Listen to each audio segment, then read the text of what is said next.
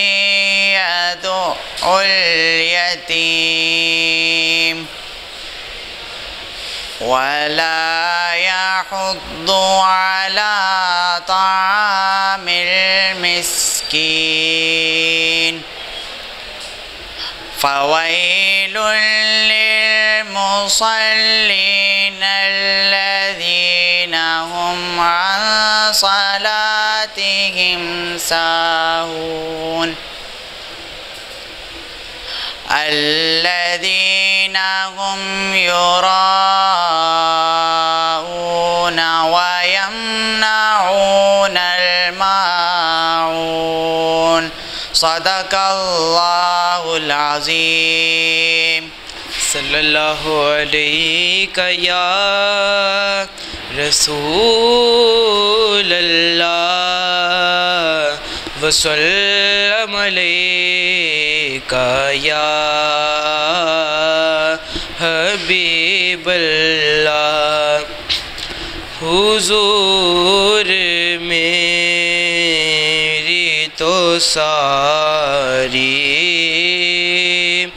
बहार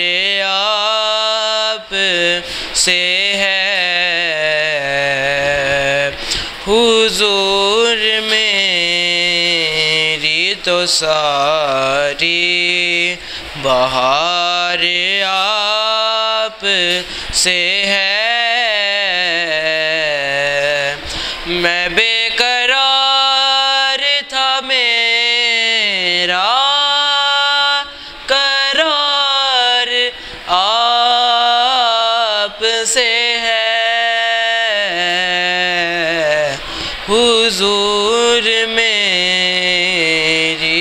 सारी।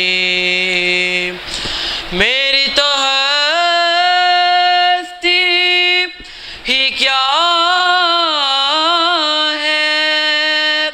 मेरे गरीब नवास जो मिल रहा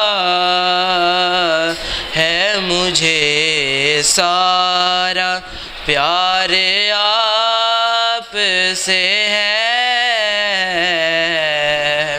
मैं बेकरार था, मेरा करार आप से है। हुजूर मेरी तो सारी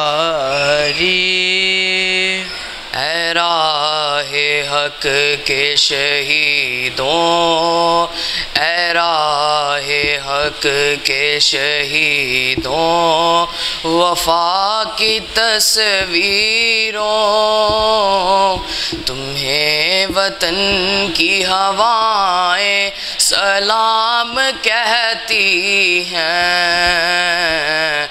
ऐ राहे हक के शहीदों लगाने आग जो आए थे, आशियाने को, वो शोले अपने लहू से बुझा दिए तुमने। बचा लिया है यतीमी से कितने फूलों को, सुहाग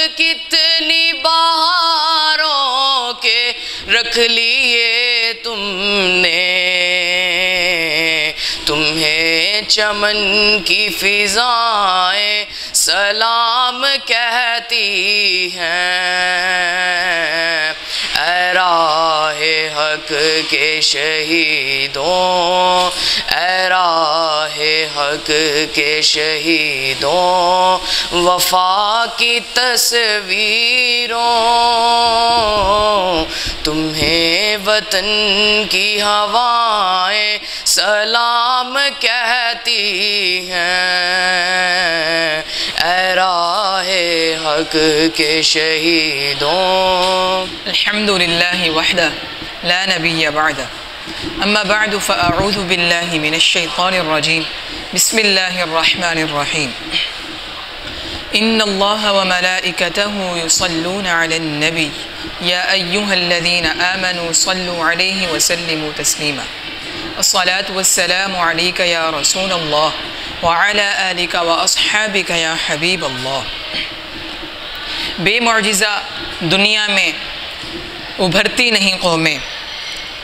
जो ज़रब कलीमी नहीं रखता, वो हुनर क्या?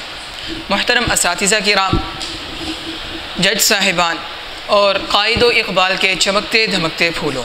असलकम वरहमल वबरक आज का जो मेरा मौजू है, वो एक अजीम तरीन शख्सियात में से एक शख्सियत के बारे में है। अगर हम पाकिस्तान की अजीम तरीन शख्सियात की फहरिस्त रखें तो उस फहरिस्त की सिर फहरिस्त वो शख्सियत हैं। मेरी मुराद कायद आज़म मोहम्मद अली जिना रहमतुल्लाह ताला ऐसी शख्सियत हैं कि जो मिल्लत के पासबाँ बने, मिल्लत की जिस्म जाँ बने, अमीर कारवा बने, इस्लाम के पेशवा बने कौमीत के रहनुमा बने, पाकिस्तान की तकदीर की अज़ा बने। हमें आज़ाद कौम की हैसियत दिलाने वाले बने। ऐसी शख्सियत कि जिसके बारे में आजकल कौम, बल्कि ऐसा कहना सही दुरुस्त होगा कि गद्दार कौम ऐसे ऐसे अल्फाज का तलफ़ करते हैं कि जो हमारी अक्ल में भी नहीं ठहर सकते। वो कहते हैं कि ये कायद तो ऐसे थे कि जिन्होंने एक मुल्क का, एक सल्तनत का, एक रियासत का बंटवारा करके रख दिया। अगर ये बंटवारा ना हुआ होता तो हम इतिहाद के साथ रहते और अगर हम इत्तेहाद के साथ रहते तो ये सल्तनत, दुनिया की अजीम तरीन सल्तनत में से एक सल्तनत होती। तो मैं इनको एक बात कहना चाहता हूँ कि हम कायद आज़म से तो पूछ लें कि उन्होंने इसका क्या रद्द अमल किया था। तो कायद जब तलबा से ख़िताब कर रहे थे तो एक हिंदू लड़के ने आपसे पूछा कि कायद, आप किस बात के कायद हैं? कि आप तो एक हिंदुस्तान का बंटवारा कर रहे हैं। अगर हम इतिहाद के साथ रहेंगे तो ज़्यादा अच्छे से काम कर सकेंगे तो मेरे कायद चंद लम्हों के लिए खामोश हुए। वो कहते हैं ना कि जब शेर को शिकार करना होता है तो ज़रा आराम सुकून से शिकार करता है, छुपके से शिकार करता है। तो कायद चंद लम्हों के लिए खामोश हुए। फिर बाद में पानी का गिलास मंगवाया। पानी का गिलास लाया गया। कायद ने आधा गिलास पानी का पिया। और फिर वही आधा गिलास पानी पानी का, एक हिंदू, उसी हिंदू लड़के को दिया, कहा कि ये पियो। तो जनाब साहब कहते कि मैं नहीं पी सकता। तो मेरे कायद ने वही आधा गिलास एक मुस्लिम लड़के को दिया, जो उन्होंने पिया था। तो मुस्लिम मुस्लिम लड़के ने बिला झिझक उस पानी को पी लिया। तो मेरे कायद ने कहा कि ये है मामला। ये है इल्लत। दो कौमी नज़रिया है इल्लत, जिसकी वजह से बंटवारा बन रहा है मालूल। तो एक कानून है कि जब इल्लत पाई जाए तो मालूल का पाया जाना वाजिब लाजिम ज़रूरी हो जाता है। लिहाजा आपके सामने फ़र्क वाज हो चुका है तो लिहाजा बंटवारा अब करना ज़रूरी है। अल्लाह अकबर, कितनी आसानी से उनको समझा दिया कि भाई, क्या मामला है जिसकी वजह से ये बंटवारा हो रहा है? ऐसे कायद के बारे में आवाज़ें कसते हैं कि जो ऐसे ऐसे फैसले करते कि मुनाफिकीन भी सोचने पर मजबूर हो जाते कि इसकी पैरवी की जाए कि अदम पैरवी की जाए। ऐसे कायद के जो प्रोटोकॉल और करप्शन के सख्त खिलाफ थे, प्रोटोकॉल जब आप कॉन्फ्रेंस के लिए जा रहे थे तो रेलवे ट्रैक बंद मिला। तो ड्राइवर उतरा, कहा कि भाई गवर्नर साहब आए हैं तो ज़रा ट्रैक खोल दीजिए। तो मेरे कायद ने बड़ी सख्ती से उसको वापस बुलाया और कहा कि मैं कोई भी ऐसा अमल नहीं करना चाहता कि जो प्रोटोकॉल पर मबनी हो। करप्शन के सख्त खिलाफ गवर्नर हाउस के लिए फर्नीचर लाया गया, सैंतीस रुपये का। सिर्फ़ सैंतीस रुपये का। आजकल के दौरे हाजिर में तो इसका कोई मायना भी नहीं है। लेकिन वो कायद थे जिनके आगे तो सात रुपये की बहुत हैसियत थी।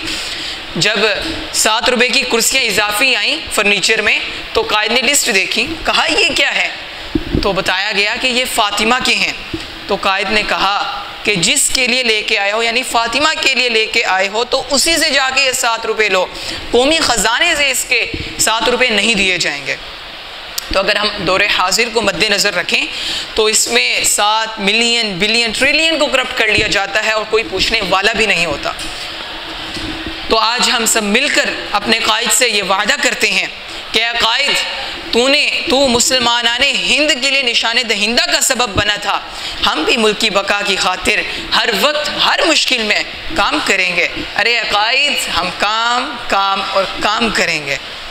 और तूने नारा हक को बुलंद किया था। हम भी तेरे साथ नारा हक को बुलंद करेंगे। कि पाकिस्तान का मतलब क्या? ला इलाहा इल्लल्लाह। दस्तूर रियासत क्या होगा? मोहम्मद ए वतन के सजीले जवानों? ए वतन के सजीले जवानों? मेरे नग में तुम्हारे लिए हैं। मेरे नग में तुम्हारे लिए हैं। वतन के सजीले जवानों?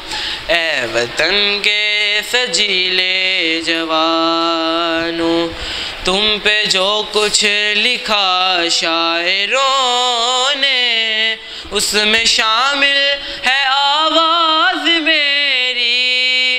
उड़ के पहुँचोगे तुम जिस उफक पर, साथ जाएगी परवाज